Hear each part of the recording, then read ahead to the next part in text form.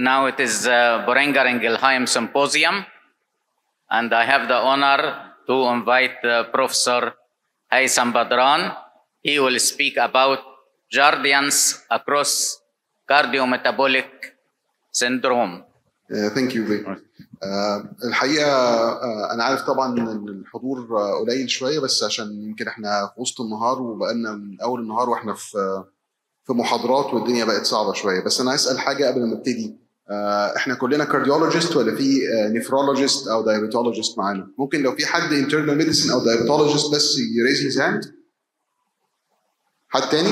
دايابيتولوجيست بيرفكت طيب آه الحقيقة the presentation is mainly للدايابيتولوجيست والنفرولوجيست beside الكارديولوجيست لأن إحنا most of the slides هنلاقيها regarding الكارديولوجي إحنا هنبقى عارفينها قبل كده عندنا عند يعني في فكرة عنها قبل كده. طيب. These are my disclosures. الحقيقه الكارديولينال metabolic systems are interconnected. كلنا عارفين ان الهارت muscle is the most metabolically demanding organ in the body. في نفس الوقت it can affect renal functions لو فيها heart failure او في اي affection regarding ال cardiac function. الكدني الكدني regulate the glucose and volume homeostasis و most of the patients اللي عندهم kidney function can develop heart failure at some point of of their life. الميتابوليك بروفايل regarding the liver and pancreas كلنا عارفين طبعا الجلوكوز hemostasis and we know that about 60% of diabetic patients have some element of chronic kidney disease. So we have interconnected cardiorenal metabolic uh, organs. Besides, in about 1 billion patients عندهم cardiorenal metabolic abnormalities. والبيشنتس دي interacting together يعني بنتكلم على about 50% of diabetic patients عندهم some sort of CKD, some sort of chronic kidney disease. Two thirds of heart failure patients عندهم some sort of chronic kidney disease and one third of the heart failure patients are diabetic. فاحنا بنتكلم على strongly correlated systems الهارت الكidneys الليفر and the pancreas for the uh, I mean glucose homeostasis in the body. For our patients to check up ان احنا بنتابع العيانين بتوعنا regarding السي كي دي احنا بنتابع regularly الاستيميتد glomerular filtration rate وبنتابع regularly الالبومينوريا as a sign of chronic kidney disease or heart failure and should be monitored on annual basis لو عندنا high risk of development of chronic kidney disease. Regarding the heart for the atherosclerotic cardiovascular affection, we should check for coronary calcium score and if normal we can repeat it every five years. Checking for the natriuretic peptides and for the echocardiogram on demand or depending on the symptoms of the, of the patient. If there is some sort of symptoms of heart failure, we should go for uh, echocardiogram or natriuretic peptide assessment for our patient. Time. How to prevent the cardiorenal metabolic uh, manifestations, so hence improving the quality of life, decreasing hospitalization, improving the mortality as well. Regarding the cardiovascular risk, you can use the sodium glucose co-transporter 2 inhibitors, as we know from the trials from the emperor reduced and emperor preserved, to decrease hospitalization and improve mortality in heart failure patients. Besides decreasing the deterioration in the kidney functions in these type of patients, and then on we have a separate trial for using the empagliflozin in the patients with chronic kidney disease to prevent deterioration, a, a form of renoprotective drug as well. And regarding the glycemic control, we know that sodium glucose co-transporter 2 inhibitors can be used for the glycemic control in diabetic patients and also for some uh, weight loss as well.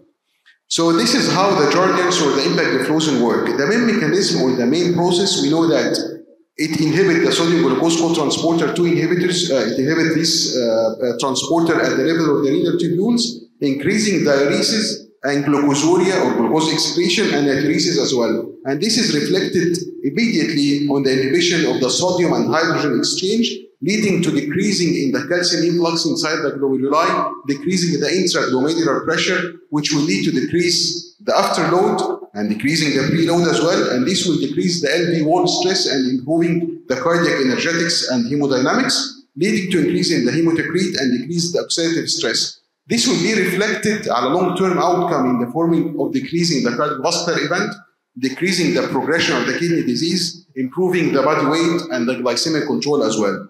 This is how the empagliflozin or the sodium glucose transporter 2 inhibitors work in our body. But this should be reflected on trials ان بيحصل عندنا outcome trials ان احنا بنحسن بيها outcomes for any heart failure I need diabetics, I need kidney disease. الحقيقة القصة بدأت uh, starting very early من ال trials بتاعت diabetes phase 3 trial using the empagliflozin in diabetic patients and the impact outcome trial, this was reflected in decreasing um, the cardiovascular events and the kidney the progression of the kidney disease in diabetic patients. طبعا عارفين من ساعه الكليتازونز واحنا كل الانتي دايابيتيك دراجز لازم يبقى ليها cardiovascular outcome trial in order to be used safely. فكانت الامباريك outcome trials على diabetic patients ودي قالت ان إحنا عندنا improving in heart failure hospitalization cardiovascular outcomes يعني امين and the progression in kidney disease in diabetic patients من بعد الامباريك قررنا نعمل الامبرو reduced and امبرو preserved trial using the empagliflozin in the patients with heart failure either reduced and preserved ejection fraction and then we have the impact kidney trial which is which was specifically designed for the patients with renal impairment to see whether the, uh, the empagliflozin can benefit the kidney independent from the presence or absence of diabetes in these patients. So the cardiovascular benefit in patients with heart failure independent of type 2 diabetes at the baseline, and this was proved with the EMPEROR-Reduced and EMPEROR-Preserved trial. الحقيقة كلنا عارفين الديفينيشن uh, uh, of heart failure, the universal definition, and uh, the guideline-directed medical therapy in patients with heart failure with reduced preserved and mid-range ejection fraction. ولو رجعنا الباد and they are الكلاس 1 A indication the use of the IMPA glyflozin or sodium glucose cotransporter 2 inhibitors in the full range of heart failure starting heart failure with preserved ejection fraction mid-range and reduced ejection fraction and also in heart failure with improved ejection fraction.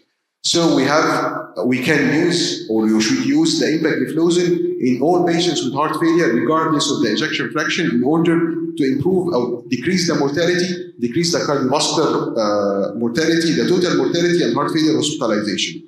And when we look at the emperor reduced and the emperor preserved trial across the range of heart failure, we can use the impact empagliflozin to get something like 25% relative risk reduction in the primary endpoints of the cardiovascular mortality and heart failure hospitalization. And also in the patients with preserved ejection fraction, we have 21% relative risk reduction in the primary endpoints of the total mortality, cardiovascular mortality, and heart failure hospitalization.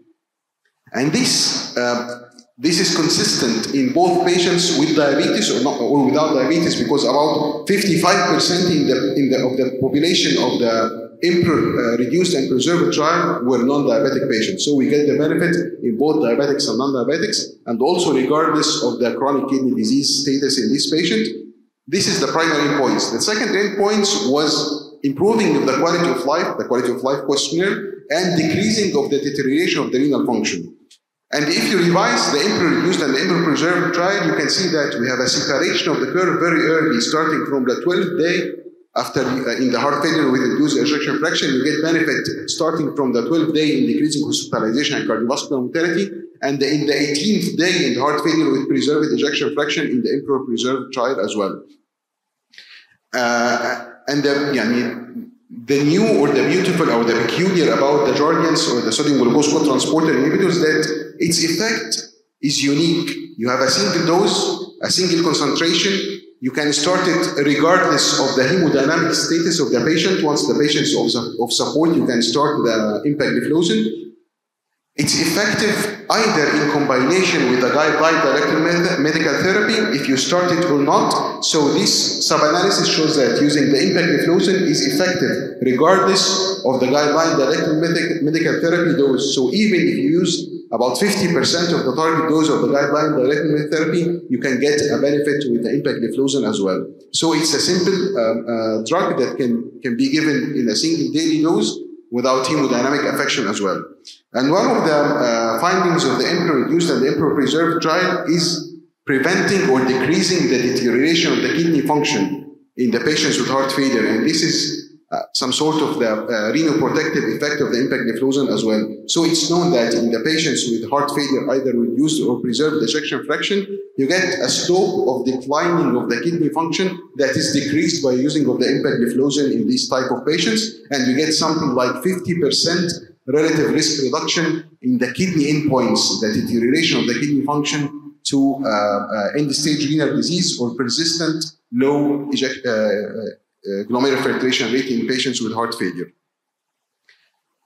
And this, this is without increasing the adverse event in our patients. So we have uh, something like placebo effect, uh, adverse effect by using the impact empagliflozin in comparison to the placebo in the EMPEROR-Reduced and EMPEROR-Preserved trials. So there is no increase in the side effects by using this drug in um, uh, whether the patient is diabetic or non-diabetic. So actually, the EMPEROR-Reduced and the EMPEROR-Preserved trial, both of them, they met the primary and secondary endpoints regarding reduction of the cardiovascular death or hospitalization, regarding the first and recurrent heart failure hospitalization, and second, secondary endpoints, the quality of life was questionnaire and the deterioration of the kidney function uh, uh, in the form of deterioration of the uh, GFR in the patient with chronic kidney disease.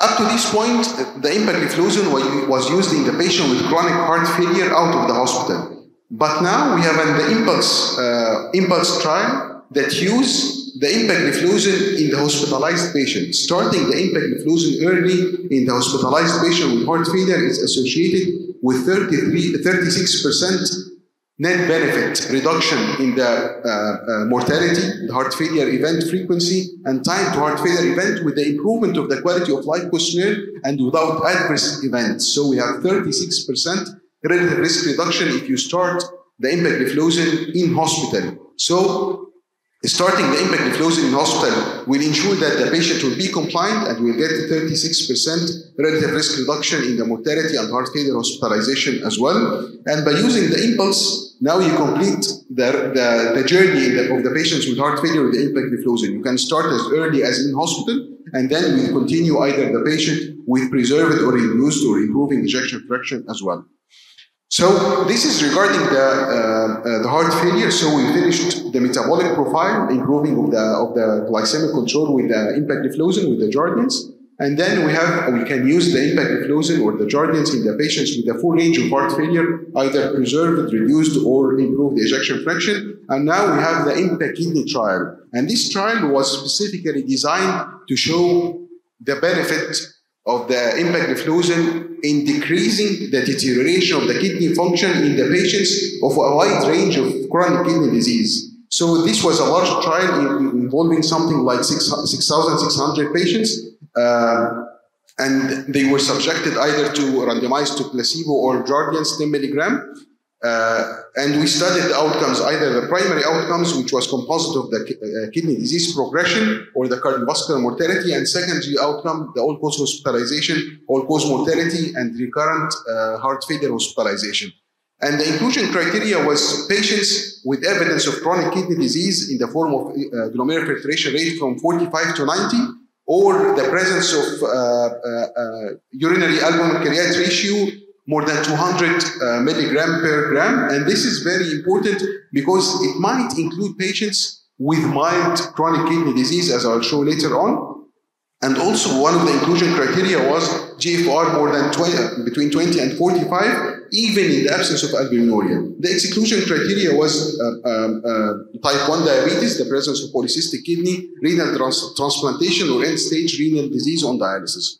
So this was the exclusion, and it's very important to see that the EMPA, the EMPA uh, kidney trial, it involved a wide range of patients, either with mild albuminuria, mild chronic kidney disease, up to severe chronic kidney disease, and this full range or this wide range of presentation of the patient in this study, uh, in the contrary of other trials like the Credence and DAPA CKD trials. And this is the baseline characteristics of the patient. We have patients 54% with no diabetes, 27% with cardiovascular disease, and 35% with EGFR below 30%, and 48% with albumin uh, uh, create ratio in urine more, uh, less than 300 milligram, which is some, some sort of um, um, mild renal impairment.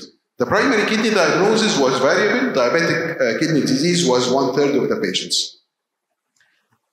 I like this slide very much because it's like the, the cardiovascular risk assessment of our patients. This is the, how the, the nephrologist assess the, uh, uh, the risk of the chronic kidney disease. So we have either the albuminuria stage description, which is divided into A1, A2, 3, depending on the uh, um, um, uh, the, the degree of albuminuria. And then we have the EGFR, which is um, from G1 to G5. Uh, G5 is more طبعا advanced chronic kidney disease, and probably you need dialysis later on. So this was the results of the EMPA kidney trial that using the Jardiance or, or the empagliflozin in the patients with chronic kidney disease associated with 28% relative risk reduction in the progression of the chronic kidney disease or the cardiovascular death, and 14% the secondary endpoints, which is all-cause hospitalization all-cause mortality as well. And this benefit was regardless the presence or absence of diabetes, from mildly to severely reduced EGFR with and without prior cardiovascular disease and with or without the use of background RAAS inhibition as a renal protective, as I said. And the subgroup analysis as well was involving all patients, whether the patient is diabetic, whether the degree of renal impairment you have, uh, and also whether the presence or absence of the cardiovascular disease, we get improvement with the impact empagliflozin uh, in comparison to the placebo, and this was not associated with other adverse events. So by this, I finished the presentation, but in conclusion, you can see that using the sodium glucose cotransporter inhibitor impact empagliflozin or the Jardiance in the full range of heart failure patients and also for the glycemic control and for protection of the kidney in the patient of the CKD. Thank you. Thank you very much, uh, Professor Badran, for this uh, illustrative uh, lecture. Uh, we can uh, uh, thank you for you have pointed some clear and important points. First, the empagliflozin Jardiance is cardio and renal protective, and it can be used without diabetes in patient without diabetes.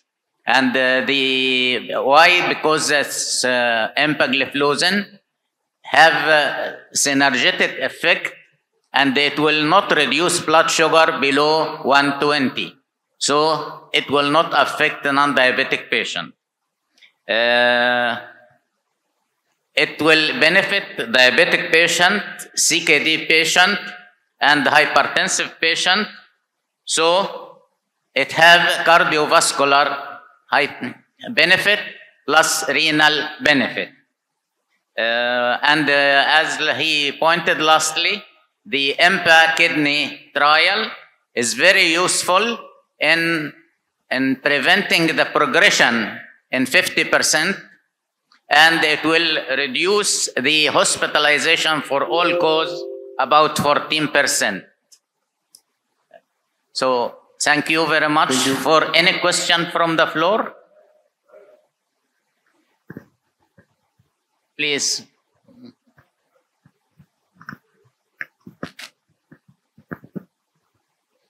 Sure. هو طبعا في طبعا بنكري... آه، الفاتي بنكرياس والفاتي ليفر وفعلا زي ما قال أستاذي إن مالتيبل بنفيتس لكن في في آه، سؤال آه، هو آه، فعلا محتاجين إجابة عليه.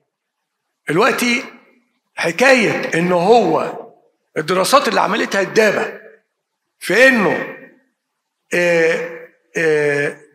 decrease remodeling post myocardial infarction. وطلعت إنها فيلد ليه بقى؟ ليه بقى؟ يعني بعد ما قالوا إنها جايبة نتائج هايلة انتهت بإنها فيلد والكلام ده عرفته منه فيلد مش مش أنا اللي قريتها. اللي اللي رد لي على سؤالي آه، في الكارديو ميليتري آه، طبعا سيادة اللواء هناك آه، على درجه على درجة عالية جدا من الابديتد قال لي فيلد والإمبا عاملة نفس الدراسة تاني.